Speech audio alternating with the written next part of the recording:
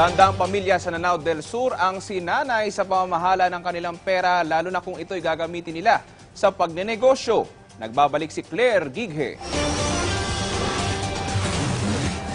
Patuloy ang pagtulong ng International Organization Islamic Relief Worldwide o IRW Philippines sa mga internally displaced persons o IDPs ng Marawi Siege. Sa katunayan, nasa anim na daang mga household sa munisipalidad ng Ditsaan Ramain sa probinsya ng Lanao del Sur ang sumailalim sa isang financial management training. Katuwang ang Ministry of Trade and Investment ng Bangsamoro Region ay nauna sa training ang isang daang mga individual sa Barangay Lumbatan. Ang nasabing batch ay hinati rin sa 10 miyembro para sa kanilang mga interes na negosyo at livelihood proposal. Ang natitirang limang daang households ay isa sa ilalim din sa training ngayong Hunyo hanggang sa susunod na buwan. Ayon sa IRW, pagkatapos ng training ay tatanggap ang bawat grupo ng cash grant na nagkakahalaga ng 50,000 pesos bilang startup capital sa kanilang napiling negosyo kasama ng iba pang mga kagamitan. Ayon kay Islamic Relief Area Program Manager City Jamaira Disumimba, ang inisyatibo ay sa ilalim pa rin ng livelihood component ng kanilang Sustaining Transformative and Resilient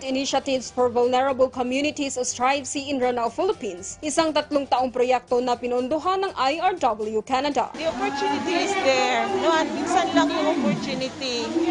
And uh, it's for them to make sure na itong mga assistance that are being provided are being used with the vision of uh, making it sustainable, na makatulong talaga sa kanila. Sana, sana, maging successful ito para magamit naman nila. Malaking pasasalamat naman ng mga benepisyaryo sa tulong na kanilang natanggap. Um, papasalamat kami sa Islamic Relief, sa MITP, tsaka sa inyo na nagkandak sila nito kasi malaking bagay ito sa amin.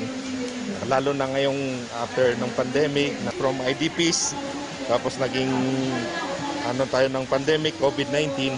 So at least mat- marami kaming matutunan sa training seminar na to para sa aming Claire Gighan ng Philippine Information Agency Lanao del Sur para sa Bayan.